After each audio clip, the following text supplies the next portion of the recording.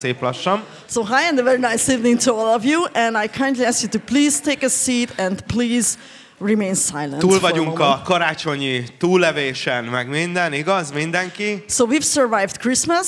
Nagy Everybody did. minimum két kilót híztunk szerintem. Everybody put on Most, hogy two nézlek, kilos, én okay? So, like four or five pounds on average. mutogatod, hogy te. As I look at you, you did. Én, én négyet szerintem.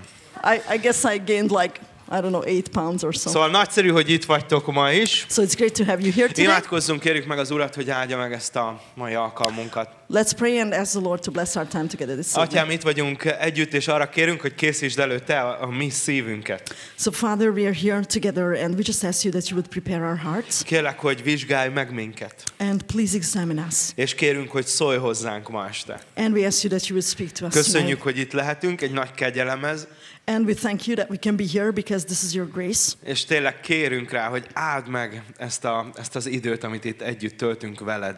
And we do ask you to bless our time together this evening. We Szeretnénk téged dicsőíteni dalokkal, Uram, We want to praise you through our songs. és arra kérünk, hogy ahogy az igétben nézünk, vezess el minket minden igazságra. And as we look into your word, we ask you that you would lead us into all Adj nekünk megértést, és szólj bele így a lelki életünkbe is. Please grant us understanding and please speak into our spiritual lives as well. Nagyon szeretünk téged, Uram. We love you so much, Lord. A megváltást, And thank you for és redemption. köszönjük az új életet. And we thank you for new life. Jó, hogy reményünk van. And it's great that we can have És hope. jó, hogy te közeledsz, Jézus. And it's great that you approach to us, Jesus. Jézus nevében kérünk, hogy áld meg ezt az estét. So we ask you that you would bless our time together this evening. In Jesus' name we prayed. Amen. Amen. Amen. Dicsőítsünk együtt, akkor kérlek benneteket, hogy álljunk föl mindannyian. Let's praise the Lord together and let's stand up.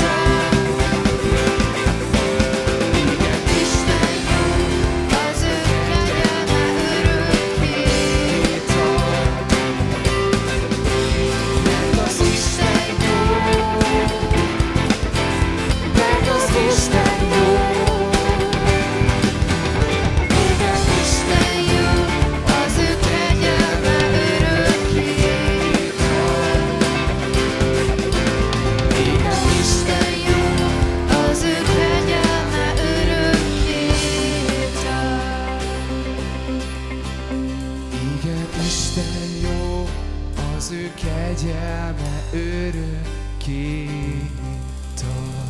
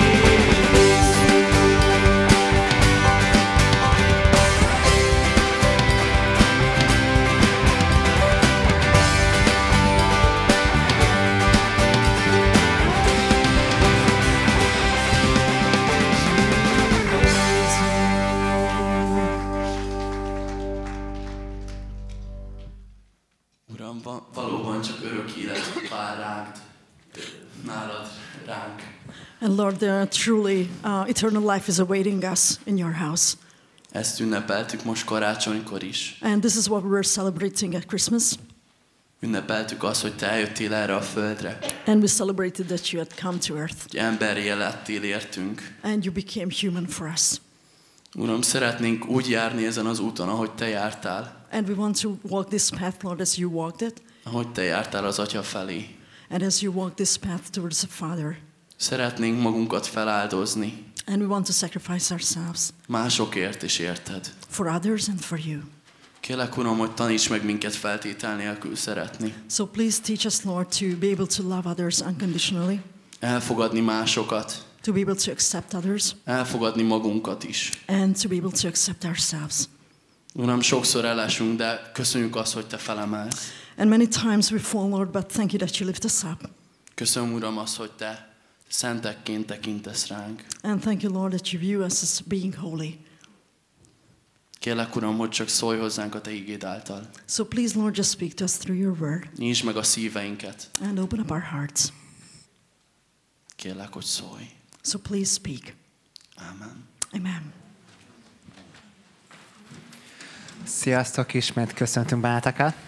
So hi and welcome again. Ahogy foglaltok, kérünk, hogy köszöntsétek a mellettetek ülőket, And és as you take a seat, please say hi to one another. Say hi to the person sitting next to you, around you.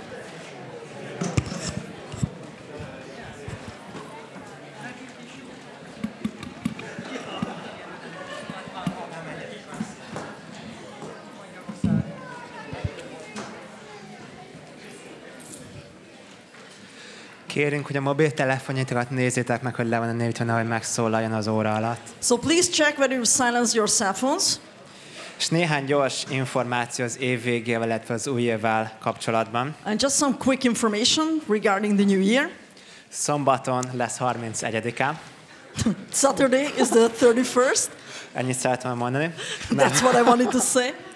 Várunk titeket este 7 órakor az Isten tiszteletünkre, az új év záró Isten tiszteletre. Ez nyitott mindenki számára. So we are looking forward to having you here at 7 o'clock for our end of the year service. Utána pedig lesz a szilveszteri egészestés programunk, amire ugyanúgy várunk titeket, viszont erre kérünk, hogy vegyetek jegyet ma még az infopultnál. And we are also looking forward to having you for our New Year's Eve uh, party, which is going to start after the service. Uh, you need to purchase tickets for that, and please do that today if you want to come. Ami nagyon fontos, hogy vasárnap nem lesz Isten tiszteletünk itt, There's not going to be a service on Sunday. That's very important for you to, note. Szeretünk titeket, ne gyertek, kérünk vasárnap. So please don't come on Sunday. Uh, viszont helyette 10 órakor kiposztolunk a Facebook oldalunkra, illetve az e listán és a golgota.tv-n, az összes ilyen média oldalunkon egy üzenetet Philtől az új évre vonatkozóan. But we're going to post Phil's New Year's message uh, on all of our social media sites, you know, Facebook and our e-bulletin site and also Golgotha TV. Hogy vasárnap reggel az ágyból keressétek mindenképpen. We're going to post it at 10 o'clock so you guys can watch it from bed on Sunday. Illetve néhány gyors információ az új évvel kapcsolatban. Január 4-től ugyanúgy folytatódnak tovább a szerdai és a vasárnapi alkalmaink, mint And korábban. some information regarding uh, our New Year's services. We're going to continue our Wednesday night uh, services as usual, uh, starting January the 4th. A hétfő esti biblióra szünettel január 9 hétfőig. And our Monday night services uh, are not going to be held until the 9th. A vasárnap este pedig január 15-én lesz először. January 10th. 15. Yeah. Okay. And our first Sunday night service will be on January the 15th. Köszönöm a figyelmeteket, és filia szó. Thank you for your attention. And give the floor over to Phil. Maybe we should tell everybody we're going to have church on Sunday, just online. Tehát lehet, hogy azt kellene mondanunk Hát egyébként, tudod? hogy igazából lesz vasárnapi Lesz, Gyuri. Isten tiszteletünk, január 1-én csak online lesz. So uh, please make sure you tell people that we won't be here Sunday morning. Úgyhogy létszik tényleg adjátok tovább ezt a hírt másoknak is jó, hogy akkor nem leszünk itt jelen, Um, vasárnap délelőtt. Take your Bibles and turn to Exodus chapter 22. Exodus 22. Legyetek szívesek, akkor kap, kapjátok elő a Bibliátokat, és a 2 Mózes 22. fejezeténél lapozzátok föl. And um, thank you for being here on this normally it's an odd time of the year, I know, you know, after Christmas, before New Year's Eve. Thanks for coming. És köszönöm Glad you're szépen, here. hogy eljöttetek, örülök, hogy itt vagytok, mert ez egy picit ilyen furi istentiszteleti időpont, hogy hát ugye túl vagyunk a karácsonyon, és akkor még szilveszter előtt vagyunk. And I'm excited to, um, I'm, I'm glad to be in this text. I really, I really enjoyed this. És egyébként pedig nagyon örülök, és nagyon izgatottan várom, hogy beszélhessek ma erről a igerészről. Yanni's been, we've been talking about the giving of the law. Itt uh, Janival az elmúlt pár hétben arról Gondolom. volt ha nem, akkor szó, mit tanítottál? Nem. hogy Mózes, ugye, hogy Isten adta a törvényt, legalábbis Phil gondolja, um, hogy ez történt. And there's something I want you to consider when we talk about the law. És szeretném, hogyha valamit átgondolnánk, amikor a törvényre gondolunk. It was given to the nation of Israel as a um, spiritual and a practical guide. Ugye ezt ö, Isten Izrael nemzetének egyrészt egy ilyen lelki útmutatóként is adta, másrészt pedig ilyen gyakorlati útmutatásként So is. these are these are laws of governance. Tehát ezek mindenféleképpen ilyen, ilyen kormányzást mm, segítő intézkedések. How do I live towards God, towards my fellow Jew, and towards the outside world? Tehát arról szóltak ugye a törvények, hogy hogyan viszonyuljak, és hogyan éljem az életemet az Istennel való kapcsolatomban, a zsidó honfitársaimmal kapcsolatban, illetve a kívülállókkal szemben. Usually, when you hear somebody say the law, you just think of the Big Ten, the Ten Commandments. Amikor ugye valaki azt mondja, hogy a ten. törvény, akkor az ember általában a, ugye a nagy tízesre gondol, a tíz parancsolatra. But there was a lot more to the law, as you're seeing, as we saw last week, and then now we're going to see that this week. De sokkal többről szól a törvény, mint ahogy ezt már láttuk az elmúlt hetekben is, és majd ahogy még ezt látni fogjuk majd az elkövetkezőben is. But before we get into it, I want to kind of um, help us remember how these things apply to us today. De mielőtt még belevágnénk ebbe, szeretném, hogyha arra emlékeztetnénk magunkat, hogy mindezek hogyan vonatkoznak ránk így a mai napjainkban. The New Testament teaches us that if you are in Jesus Christ, then the, the law has been removed from you. Ugye azt tanítja nekünk az új szövetség, hogy ha mi Jézus Krisztusban vagyunk, akkor a törvény már így eltávolítatott az életünkbe, tehát hogy nem vagyunk már a törvény uralma alatt. And what that means is this that the punishment for breaking the law is um, God's punishment for breaking the law is no longer upon your life. És ez azt jelenti, hogy többé már nem sújt bennünket Isten büntetése azért, hogyha megszegjük a törvényt. Um, and not just the law of Moses, but any law, any, anything that you try to put yourself under to control your life. És nem csupán a mózesi törvényekről van itt szó, hanem bármilyen fajta törvényről, amely alá az ember helyezi magát azért, hogy az ember életét irányítsa az. Because of what Jesus has done, you are completely free. Mind amiatt, amit Jézus elvégzett értünk, mi már teljesen szabadok vagyunk. You are now judged on the merits of Jesus' life and Jesus' death. És most már Jézus életének és az ő halálának az érdemei alapján ítél bennünket az Isten. That's what it means when the New Testament says that Jesus is our propitiation or our substitute. Ez, erről beszél az új szövetség, amikor azt mondja, hogy Jézus az engesztelő áldozat, ugye, vagy ő volt a helyettes áldozat értünk. Because we are in him, we have his life. We are we inherit his reward.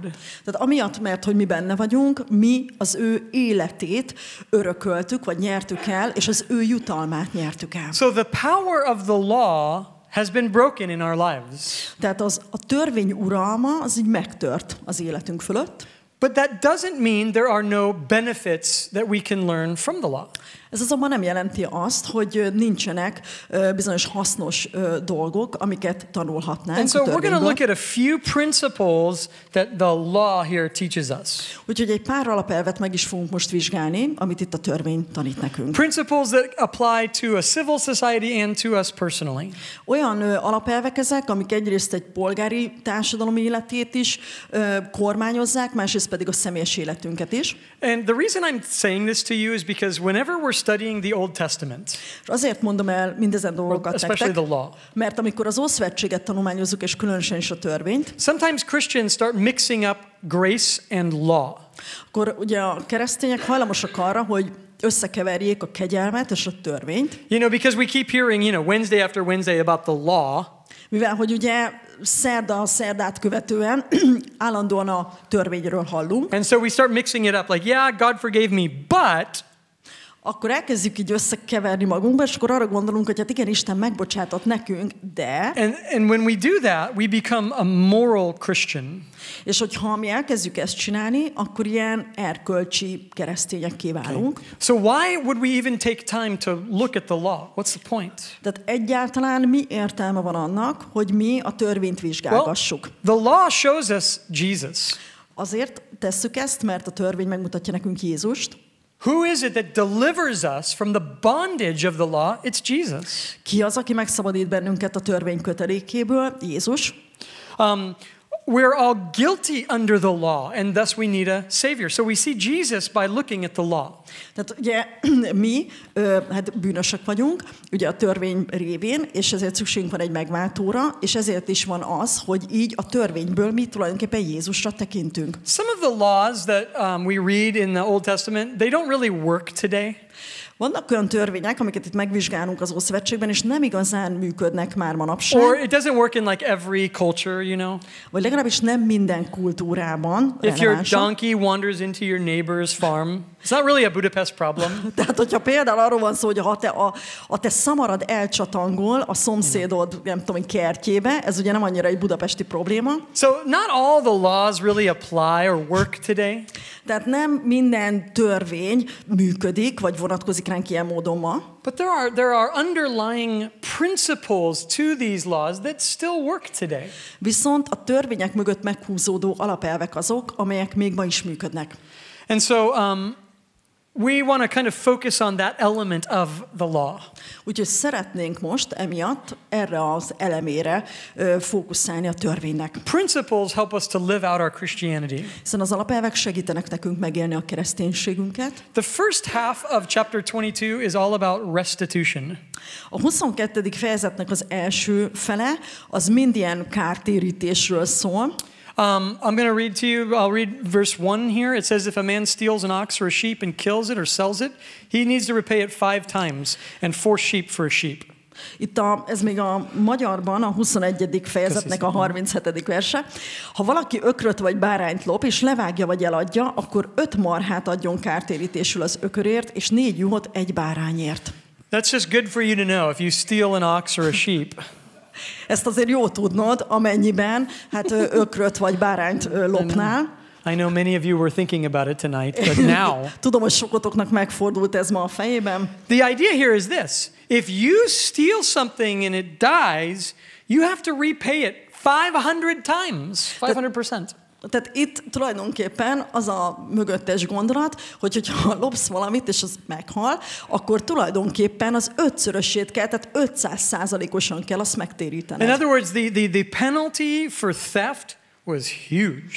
Más szóval élve, a, to- a lopásnak a büntetése az hatalmas volt. You know, back then they didn't lock you up, they made you work it off. Ö, Annak idején az embereket nem bezárták egy ilyen dologért, hanem úgy voltak vele, hogy ledolgoztatják It vele. was not slavery to be sold to work off your debt. You, it wasn't, you weren't a slave. Tehát ez nem rabszolgasság volt, az nem, szám, nem számított valaki rabszolgának akkor, hogyha munkára fogták ilyen módon. it was a work program. You were required to do this. Ez egy ilyen munkaprogram volt, hogy hát ezt megkövetelték, hogy akkor ezt meg kell csinálni. And then when you finished that, when you paid the debt, you were free again. És akkor, amikor ezt te befejezted, és tulajdonképpen akkor már ugye ledolgoztad az adósságodat, akkor szabaddá váltál. Now, there are also laws here that are um, about restitution, even for cases of neglect or accidents. Itt tulajdonképpen még olyan törvények is vannak a kártérítéssel kapcsolatban, amelyeket az ember mondjuk hanyagságból vagy véletlenül követett el. Verse 5 of a man, go- I'll let you read it. If a man causes a field or vineyard to be grazed, I- Igen, itt a negyedik versben van egy ilyen, hogy ha valaki mezőt vagy szőlőt legeltet le úgy, hogy ráengedte az állatját, és az a más mezején legelt, az térítse meg a kárt mezeje vagy szőlője legjavából. Okay, so you had to go above and beyond what, what you had taken. Tehát gyakorlatilag fölé kellett az ember utána már menjen a kártérítésben annak, amit elvett. Now, Jesus said something very similar to this, but not as a penalty for, um, or not as a restitutionary penalty. Jézus mondott valami nagyon hasonló dolgot ehhez, de ő ezt nem a kártérítés miatt, tehát nem, nem a büntetés véget, tehát nem amiatt mondta, In Matthew 5, verse 40, he says, If anybody wants to sue you for your, um, and take your tunic, give him your coat as well. Azt mondja a Máté 5.40-ben, hogy ha valaki pereskedni akar veled, és el akarja venni az alsó ruhádat, engedd át neki a felsőt If is. they force you to go one mile, go two. Ha pedig valaki egy mérföldnyi útra kényszerít, menjen vele kettőre. Okay, don't refuse anyone. Be generous. And, that, and, and so Jesus taught us to be generous as Christians. Tehát ő azt mondta, hogy ilyen nem utasíts el senkit, hanem légy nagy vonalú, ugye ilyen nagy lelkű, és Jézus azt tanította nekünk, hogy keresztényként legyünk nagy lelkűek. So the law protected people, even if, if something were to be taken from you accidentally, you were still to be paid back.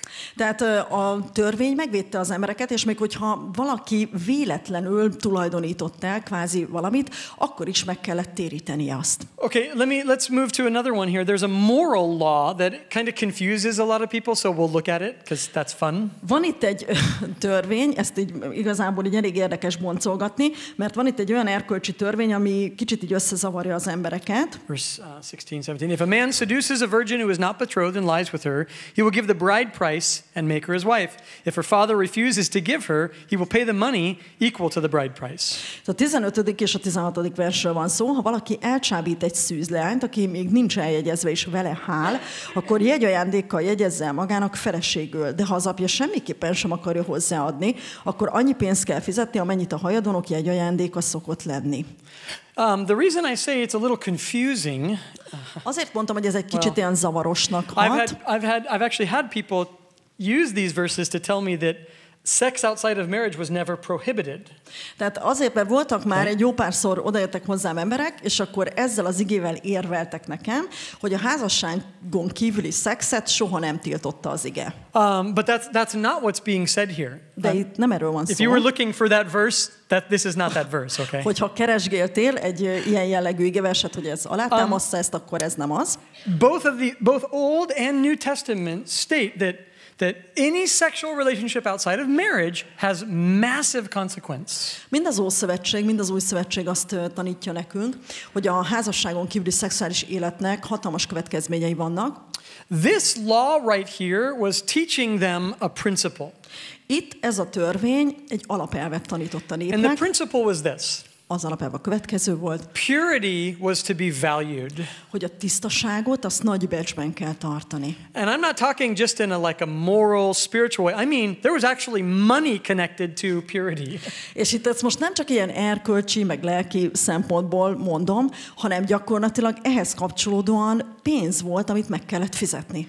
This is not the situation, uh, this is not rape, by the way. És itt nem nemi erőszakról van szó egyébként. Rape had a very different penalty. A nemi erőszakhoz egy nagyon másfajta büntetés járult, This is between two consenting people. hanem itt két olyan emberről van szó, akik mindketten önként mentek bele ebbe a dologba. If a man and a woman sleep together outside of marriage Tehát, hogyha egy férfi és egy nő lefeküdt egymással házasságon kívül, and it gets out somehow, you know, the guys are talking, girls are talking, whatever, some, somehow they find out. és akkor valahogy ugye ez kitudódik, mert hát a, Facebook, you know, ugye a srácok is beszéltek erről, meg a csajok is, nem tudom, Facebookon akár, hogy aztán kitudódott ennek a híre, Um, then the man had to pay a bride price. akkor ennek a, a férfinak meg kellett fizetnie egy ilyen jegy ajándékot. What is a bride price? És mi ez a jegy ajándék? Um, it changed uh, different times, different value. Tehát ez különböző időszakokban különböző értéket képviselt. We all have heard about the stories of um, um, the, um, uh, what is it? Um, arranged marriages. Tehát ugye mindannyian ismerünk ugye, egy csomó történetet ilyen előre elrendezett házasságokról, And, and that did happen in Israel. és ez történt is Izraelben. But also, just so you know, women did have a say. It wasn't always just, you know, shut up and marry the person that we tell you to marry.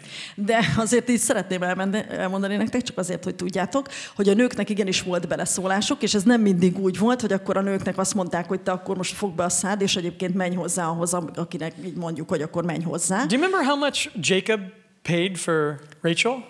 Emlékeztek arra, hogy Jákob mennyit fizetett Ráhelért? Seven years' wages. Hét évnek a munkabérét. So it was a, it, you're talking about a massive amount of money. Tehát itt hatalmas összegről beszélünk, And the, okay, the reason I'm saying this is to say, here, here's a guy and he's, he's talking with the girl, right? és ezt azért They're on a mondom, date. mondom, mert hát, hogy itt van ez a srác, Okay. és akkor ugye randizik ezzel a They're lányjal, holding hands. ké- egymás kezét Now they're megfogják, kissing. már csókolóznak, And és, now he's thinking, I want this to go further. és akkor azt gondolja magával Okay. ez a srác, hogy hát én szeretném, hogyha itt most tovább lépnénk, And then he starts seeing money signs, shekel signs in front of his és akkor eyes. egyszer csak így a lelki szemei előtt a sekel jelei, tehát ilyen pénzjelek jelennek meg, If I do this, I'm ruined. Azt gondolja magában, ha én ezt megteszem, az a végemet jelenti. She's ruined and I'm ruined too. Meg úgy egyébként az ő végét is jelenti, de az nekem is ott a vég. You had to pay the price Ugye meg kellett fizetni ennek az árát, and marry the girl. és el is kellett venni feleségül a lányt. Do you understand how severe that is? Azért úgy felfogjuk, hogy ez mennyire komoly és We're talking about súlyos. two people deciding to have casual sex, and it will change the rest of their lives. Itt most arról beszélünk, hogy van itt két ember, akik egy ilyen alkalmi szexre vágynak egymással, és gyakorlatilag ez az egész hátralevő életüket No, you're not going to jail. You're not going to get beat. You're going to work for the rest of your life to pay off your one dumb decision. Tehát itt nem arról van szó, hogy akkor őt most börtönbe vetik, meg majd megverik ezért, vagy megbotozzák, hanem gyakorlatilag arról van szó, hogy az élete hátlelevő részét azzal töltheti, hogy ő ezt a rossz döntést megfizesse. I'm telling you, this was a great way to, um, I mean, this scared people. És elmondanám nektek, hogy ez tényleg így megijesztette az embereket, It, it, kept a lot of people pure. és ez nagyon sok embert tisztán tartott. Okay. And then there, and then my favorite part was if the dad didn't like the guy, Az a kedvenc részem, hogy hogyha az apának nem tetszett a fickó, he would say, "You're going to pay, but I don't want you to marry my daughter because you're a loser and I don't like you." akkor azt mondhatta, hogy oké, okay, a pénzt azt majd kérem, ugye hát ki kell, hogy fizest, de én nem engedem meg, hogy elvedd a lányomat, mert egyébként egy loser vagy, és azt gondolom, hogy béna vagy, és I'm imagining they said that. Okay. Tehát valami ilyesmit képzelek el, hogy ilyesmit mondhattak. But imagine that. So now you have to pay And you are you you you're wearing a stigma the rest of your life. Tehát most azért képzeljük el, hogy akkor ennek az embernek fizetnie kellett, és ez egy ilyen megbélyegzés volt rajta egész életében. Why wasn't the woman punished? Miért nem büntette Isten a nőt? Come on, feminists, where are you? Right? Both should be punished. Gyerünk, feministák, hol vagytok? Mindkettő büntetést érdemel. The guy's getting okay. So here's the punishment for the woman. Akkor a következő a büntetés a nőnek, She's no longer a virgin. hogy ő már nem szűz. Do you understand what that meant at that time? Úgy felfogjuk, hogy ez annak idején mit jelentett? Your chances of marriage were basically gone. Az, hogy gyakorlatilag az emberek a házasodási esélyei a nullára Now, csökkentek. I, I know today's, you know, some are going to say, well, you know, so you don't get married. Okay, well, that's not the end of the world. A lot of people don't get married. Tehát lehet, hogy valaki erre ugye ma azt mondja, hogy hát és most mi van, hát akkor nem mész férhez soha, most attól még nem ért véget a világ, egy csomó ember nem megy férhez, You know, nem today, nősül. today we get to make choices. Ugye manapság nekünk döntési lehetőségeink vannak, Life was pretty hard then. You, you, you didn't make choices because it would better your life. You made choices to survive. Tehát annak idején kemény volt az élet, és ott az ember ugye nem azért hozott döntéseket, hogy hát jobbra forduljon az élete, hanem azért, hogy egyáltalán túléljem.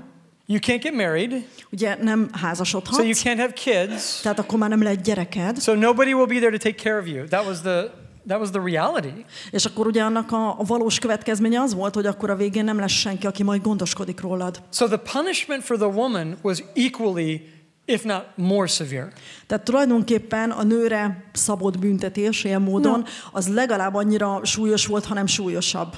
So what's the takeaway for you and me? Most akkor mi is a személyes üzenet itt számunkra? Purity should be honored. Az, hogy a tisztaságot azt tartsuk nagy becsben. The world does not honor the pure. Pu- purity is equal with naivety.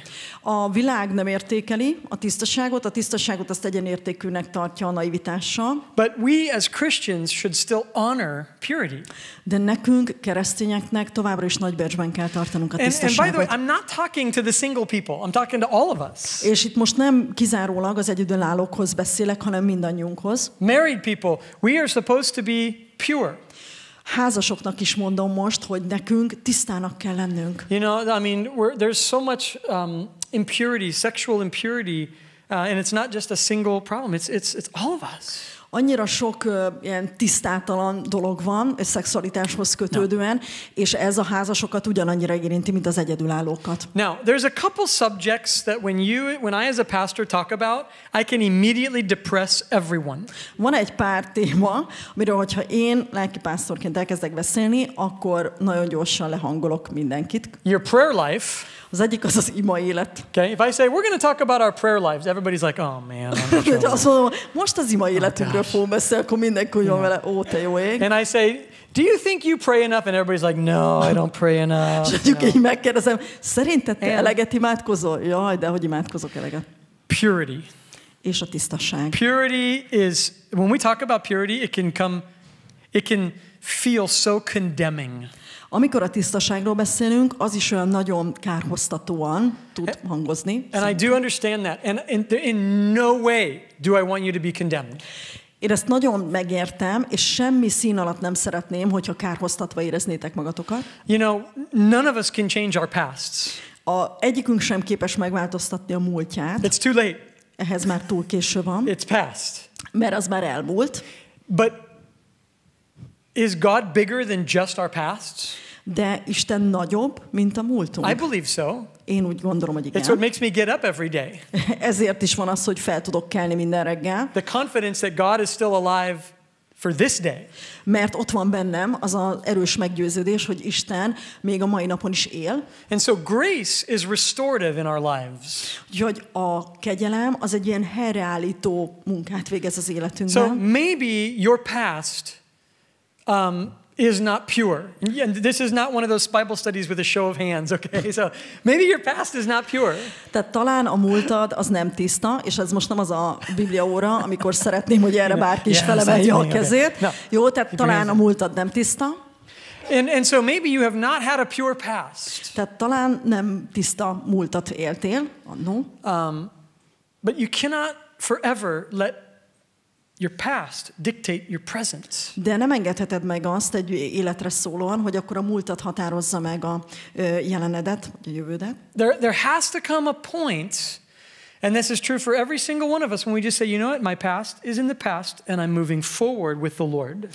El kell, hogy érkezzen, és ezt mindannyiunk életében meg kell, hogy történjen egy olyan pont, amikor azt mondjuk, hogy a múlt az, az elmúlt, az le van zárva, és én szeretnék tovább lépni az Úrral. Do not become a fatalistic Christian. Ne legyél ilyen fatalista keresztény. Oh, it's too late for me. Ó, hát ez már nekem túl késő. I've already gone too far, and that's the way it is. Én már túl messzire mentem, és nekem ez már csak így marad. Can't be a virgin twice. Hát nem lehetek kétszer szűz. Fatalistic. Ez ilyen fatalista gondolkodás. And if you think that way, you will cheapen what God wants to do in your present.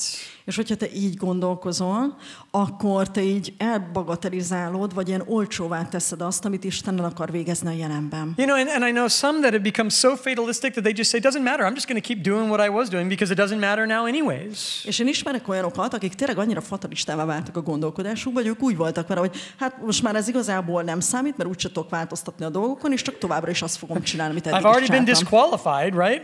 Engem már úgyis So? kizártak, Might as well just live however I want. akkor úgy fogok élni, ahogy akarok. No, don't think that way. God doesn't. Ne, ne gondolkodj így, mert Isten nem így He gondolkodik. loves you. Ő szeret And téged, if you're in Jesus Christ, you're forgiven. és hogyha te Jézus Krisztusban vagy, akkor ő You megbocsátott can't neked. change your past, but you can move on from it.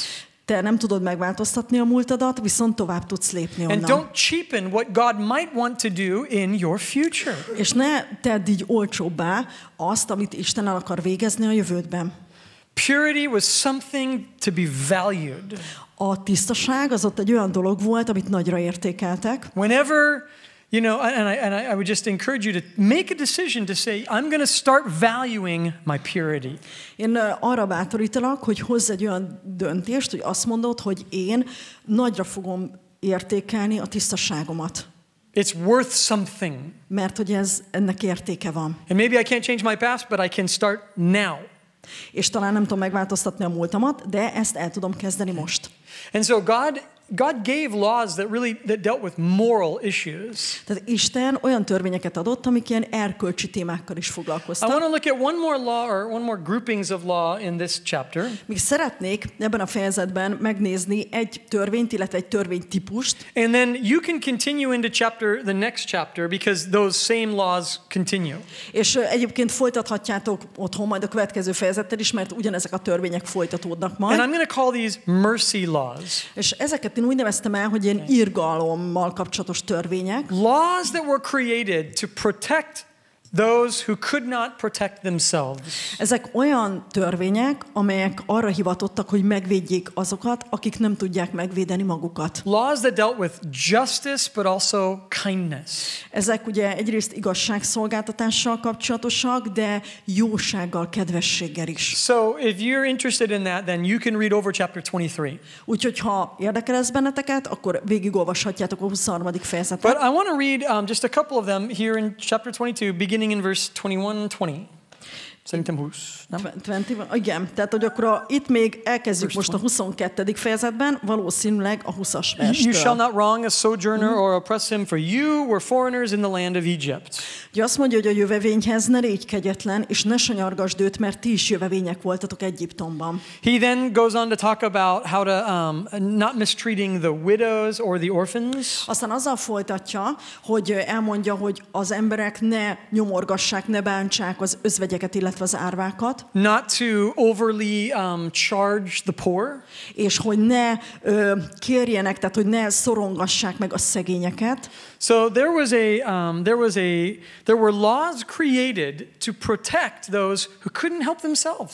Tehát voltak olyan törvények, amelyek arra hivatottak, hogy megvédjék azokat az embereket, akik nem tudtak magukon segíteni. You know, a good measure of who we are is seen in how we treat others. Egyébként egy nagy része ugye annak, hogy mi kik is vagyunk, az abban látszódik meg, hogy hogyan bánunk másokkal. God gave a law to, to Israel to to not um, uh, to be kind, to be merciful to the foreigner. Ugye Isten adott egy törvényt Izrael népének, ami arról szólt, hogy legyenek jóságosak, legyenek irgalmasok a jövevényekhez, az There was idegenekhez. a national expectation of mercy Tehát volt egy nemzeti elvárás az irgalommal towards a foreigner in the land. Mármint, hogy a, ugye az oda arra a földre érkező jövevényekkel But kapcsolatban. also, there was a personal expectation that we, as, as individual citizens of this nation, we would be merciful. Viszont egy személyes elvárás is volt, hogy mi, mint ennek a nemzetnek a polgárai, mi magunk is irgalmat gyakoroljunk az ide- idegenekkel.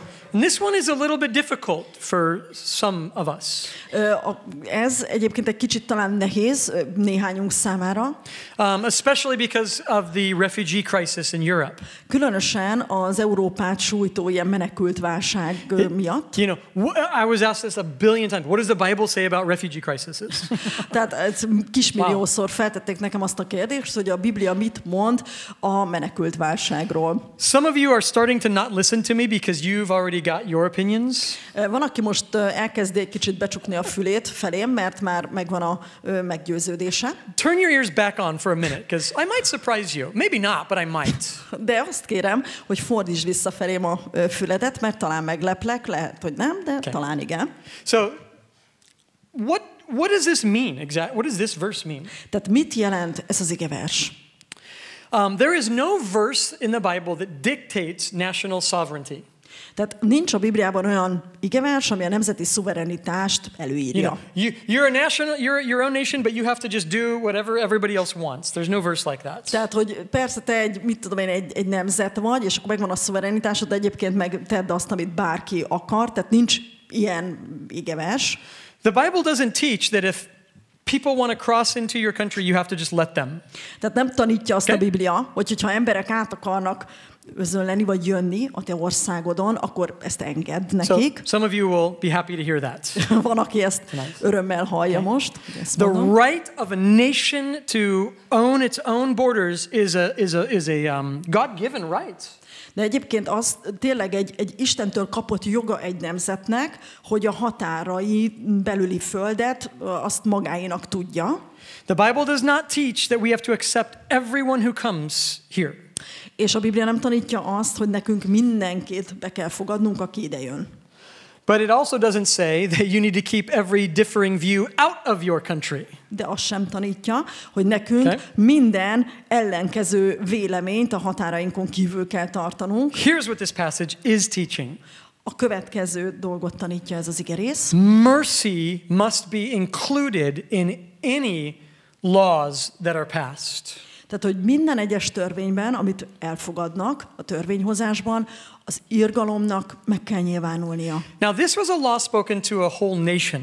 Ugye ez egy olyan törvény volt, ami egy egész nemzetnek szólt, And I know that, you know, um, you know, it's hard for us because we hear things from a national perspective, és ugye ez nehéz nekünk, hiszen mi even a regional one. hallunk, hát ugye mindenféle dolgokat, nemzeti mm, látószögből is, meg hát ö, regional van, Even regional, meg egy ilyen yeah. regionális, vagy ilyen, tehát ilyen területi, vagy ilyen kis térségi know- szemszögből is. Let me tell you one thing I kept hearing that I, I really didn't like hearing.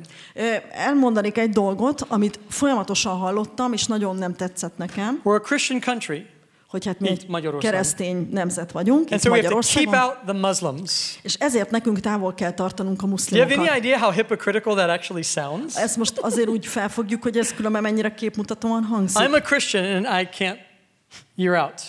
Tehát, Értitek? It doesn't work like that. én egy keresztény vagyok, úgyhogy te akkor nem jöhetsz ide. Szóval ez nem így működik. In fact, what did Jesus say we should do for our enemies? Ugye mit mondott Jézus, hogy mi mit tegyünk az ellenségeinkért? Love them. Szeressük őket. Does that mean we have to let every person that wants to come into our country and take our jobs and our women and all those things? Is that what it means? No. Akkor ez azt jelenti, hogy persze mindenki, aki ide be akar jönni, és el akarja venni, nem tudom, munkáinkat, asszonyainkat, mindenféléket, akkor ők azt csinálhatják, amit akarnak? Természetesen nem. I just don't like any country, my own included, claiming some Christian like we're Christian. No country's been Christian.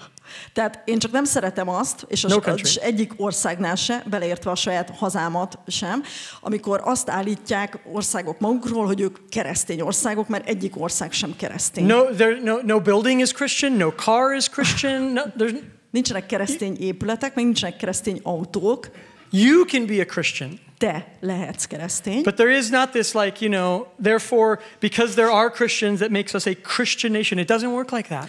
De ez nem azt jelenti, hogy azért, mert itt most akkor keresztények vannak, akkor ez bennünket egy keresztény nemzetté tesz. Ez nem így működik. On a national level, I ha- we have no answers to the problems we're facing right now.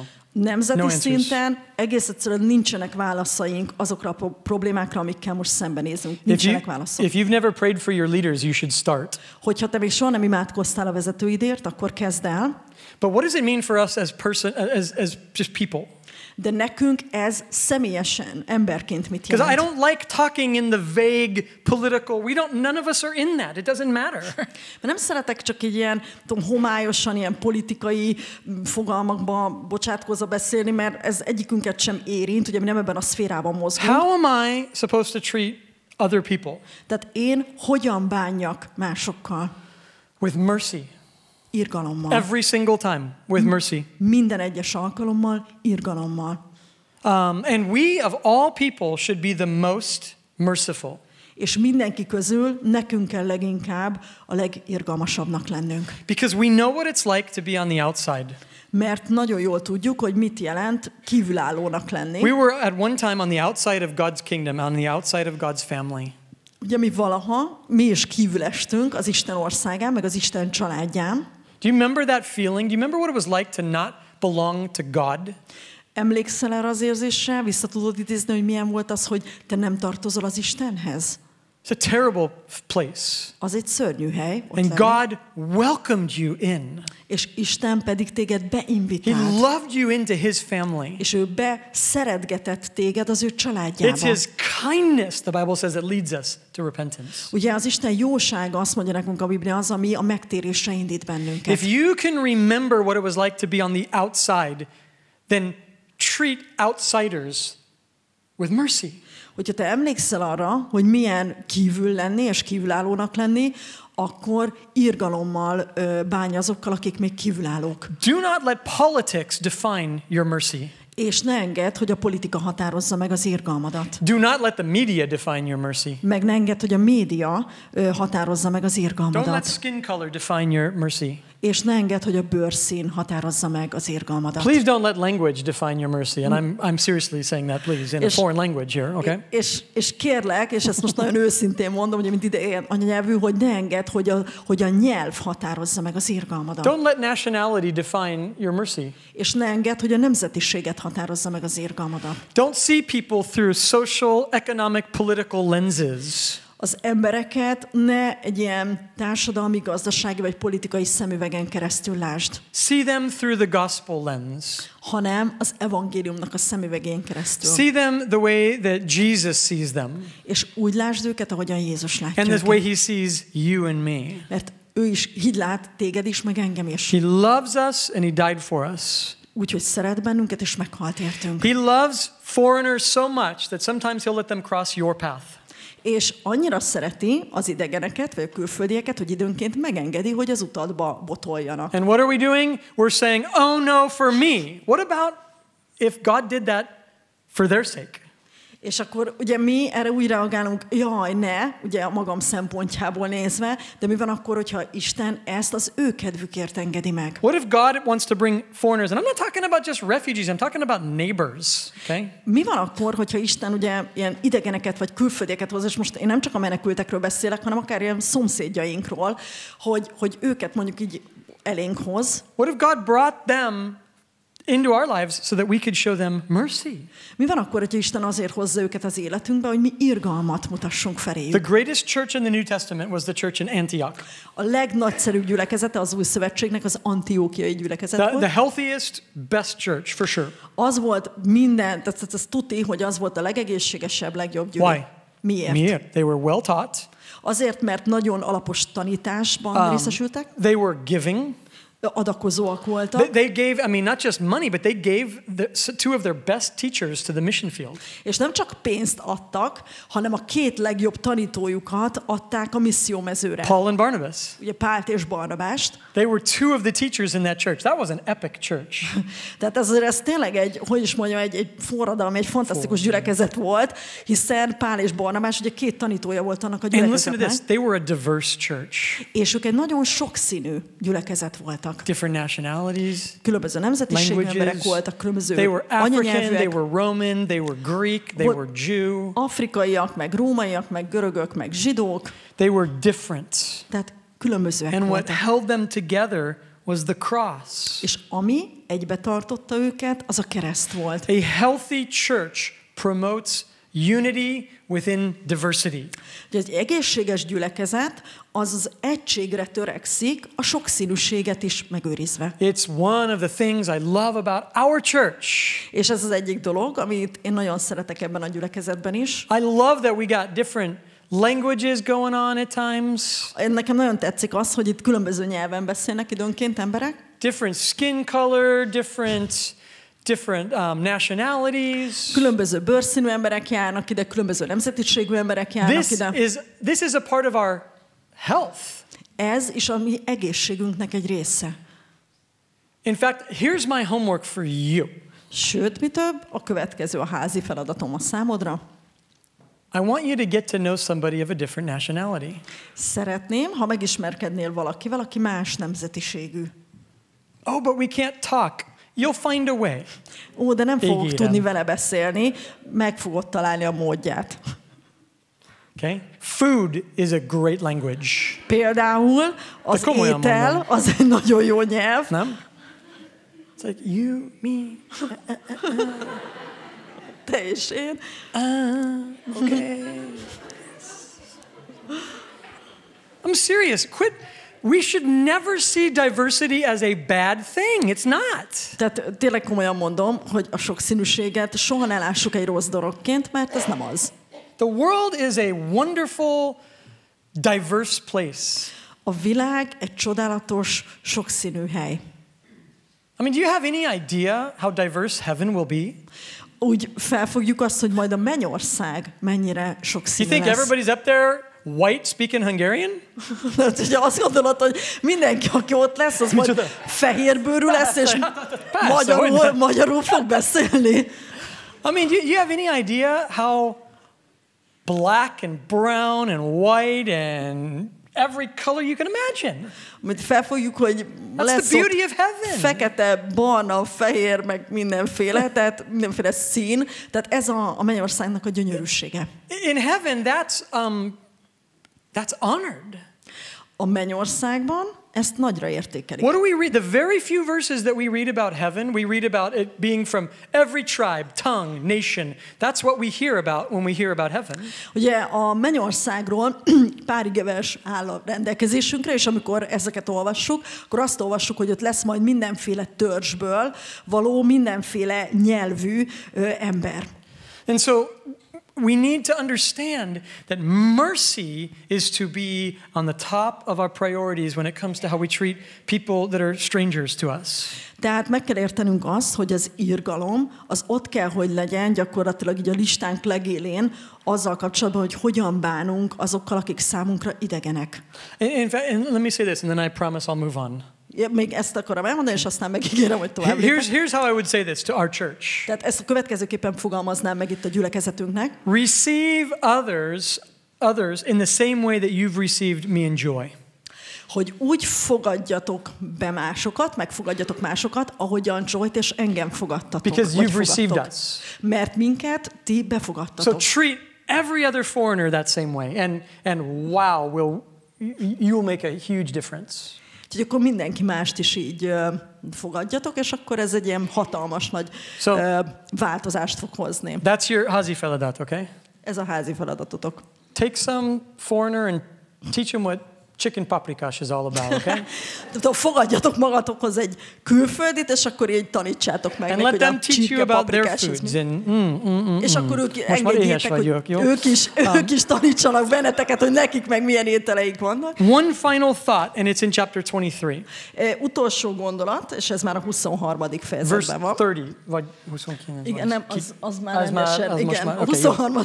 fejezetnél már ugyanaz van. God says this to Israel Little by little I will drive them out from before you until you have increased and possessed the land. Itt a 30. versben, a 23. fejezetben Isten azt mondja Izraelnek, apránként üzöm ki előled, amíg megszaporodsz és birtokba tudod venni az I'm going országot. to give you this land Ugye én nektek adom ezt a földet, little by little. apránként. Why? Why not all of it at one time? Miért? Miért nem úgy, hogy az egészet egyszerre? And then he tells them, because you can't handle it yet. És meg is mondja nekik, hogy miért nem, azért, mert egyelőre ezt még nem tudnátok kezelni. You are going to, to get the land little by little. Hanem így apránként, fokozatosan fogjátok majd ezt a földet megkapni. They needed to grow into the land God was giving them. Tehát gyakorlatilag így bele kellett nőniük abba a földbe, amit kaptak Istentől. I think that's frustrating. Én azt gondolom, hogy ez nem frusztráló, And it's often how God is working in our lives. és gyakran Isten így dolgozik, vagy munkálkodik az He's is, working little by little. hogy ő úgy apránként munkálkodik. And sometimes I'm, I want him to go quicker by quicker. Én meg időnként azt szeretném, hogyha úgy gyorsabban csinálné, és kicsit úgy felpörgetné, But there's a process that God is working in all of our lives. de Isten egy folyamaton keresztül munkálkodik mindannyiunk Um, életében. Continue to take small steps of grace and mercy. Tehát továbbra is tegyük az irgalomnak és a kegyelemnek az apró lépéseit. Maybe you are merciful, Talán little by little, more merciful. talán te már irgalmas vagy, de apránként majd még irgalmasabb leszel. Okay? We want to just keep, do, let me say it like this don't stop the growth. Tehát ezt következőképpen fogalmaznám meg, ne állítsd le a növekedést, Continue to grow the rest of your life. hanem továbbra is növekedj az életed hátralevő részében. L- learn to live out your faith in the real world, És little by little. És tanuld meg megélni a hitedet a való világban így apránként. These laws that God they were they were spiritual, then it was practical, it was it was all mixed together. Ezek a törvények, amiket Isten adott Izraelnek, ezek lelki törvények is voltak, gyakorlatilag törvények is voltak, tehát ez egész úgy keveredett. What does that mean for us? Mit jelent ez It számunkra? means be a Christian everywhere. Azt jelenti, hogy legyél keresztény mindenhol. If this place is the most spiritual place of your existence, it's not enough. Hogyha ez a hely, így a keresztény létezésednek a leglelkibb helye, akkor ez nem elég. Keep growing. Akkor növekedj tovább. Grow outside of this place. Grow at your workplace and in your home. Grow. Keep growing. akkor növekedj így ezen a helyen kívül, tehát növekedj a családodban, You know- meg a munkahelyeden, növekedj. Grow in faith, Növekedj a hitben, but grow in your ability to communicate. és növekedj Grow. a kommunikációs készségedben is. Little by little. Apránként növekedj. Don't just spiritualize everything, keep growing in every part of your life. Ne szellemiesíts el így mindent az életedben, hanem egész egyszerűen az életed minden területén növekedj. And so we can't take these laws, you know, today and just say, well, I have to do this. Tehát mi nem foghatjuk ezeket a törvényeket ma, és akkor azt mondjuk, hogy igen, akkor nekünk ezt kell But we csinálni, can learn from the principles. hanem mi tanulhatunk ezekből az alapelvekből. Let's pray. Imádkozunk. Imádkozzunk. Lord, thank you so much for the opportunity that we had tonight to, to worship you in song and to worship you in the studying of your word. Uram, köszönjük neked azt a lehetőséget ma este, hogy imádhattunk téged a dalainkon keresztül is, és a te igéden keresztül And we've talked purity, we've talked restitution, we've talked mercy. És hogy beszélhettünk a tisztaságról, a kártérítésről, meg az irgalomról. Lord, I pray that um, by your Holy Spirit, we would, you, would, you would hit us where we're at. És Uram, én azt kérem, hogy a te szent lelked által ott találj el bennünket, ahol erre szükségünk van. And I do pray, God, that little by little, step by step, we would continue to grow. És imádkozom azért, hogy tényleg apránként, lépésről lépésre tovább növekedjünk. We trust you. Uram, bízunk benned. Lord, that we would give up um, things that are hurting us little by little. Just we keep giving things up. Hogy Uram, tényleg valahogy így azok a dolgok, amik így, így rosszat tesznek nekünk, hogy ezeket így feladjuk apránként. Lord, keep changing us. És kérjük, Uram, hogy Te folyamatosan And változtass Lord, we'll, minket. we'll keep surrendering. És Uram, mi pedig folyamatosan engedelmeskedünk Thank you for your word. Köszönjük neked a Te In igédet. Jesus' name. Jézus nevében. Amen. Amen. Let's close in, in a song. Fejezzük be egy dallal.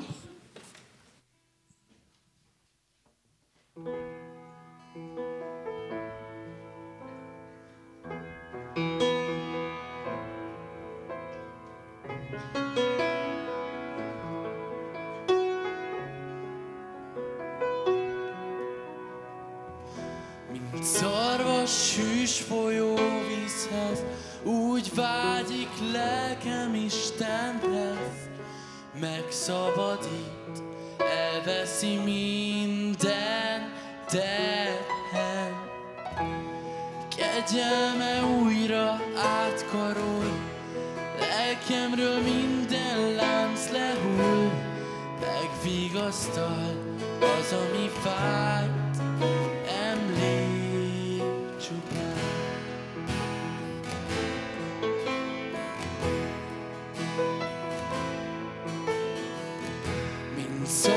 szarvas hűs folyóvízhez, úgy vágyik lelkem Istenhez, megszabadít, elveszi minden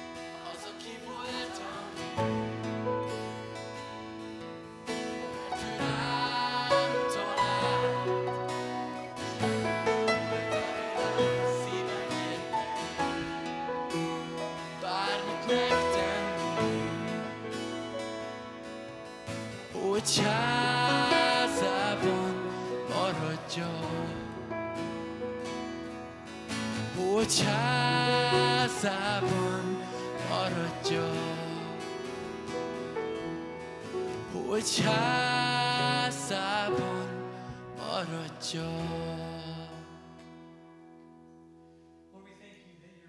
Our lives, and it's it's a it's a process. Uram, köszönjük neked, hogy te munkálkodsz az életünkben, és ez egy folyamat.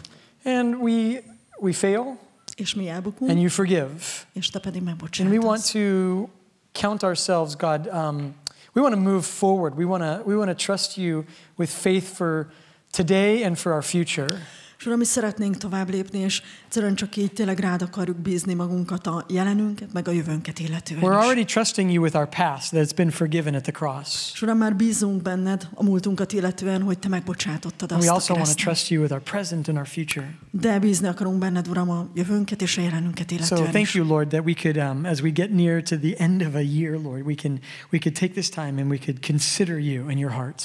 És Uram, köszönjük neked, hogy most, ahogy az év végéhez közeledünk, mi így most elgondolkodhattunk, és így elgondolkodtunk a te szíveden, Uram. We thank you for your love, Lord. Köszönjük neked In a Jesus' name. Jézus nevében. Amen. Amen. Amen. God bless you guys. Amen, Isten áldjon God benneteket. bless you. Um, well, hopefully we'll see you on Saturday. If not, I'll see you next year. Hogy remélhetőleg találkozunk szombaton, de ha nem, akkor jövőre. And uh, thank you to our worship team, Balaj and the Sekeres Chalad. Köszönjük szépen Balázsnak és a Szekeres családnak, dicsőítő csapatunknak. Így van. God bless you. Isten áldjon Isten áldjon benneteket. benneteket.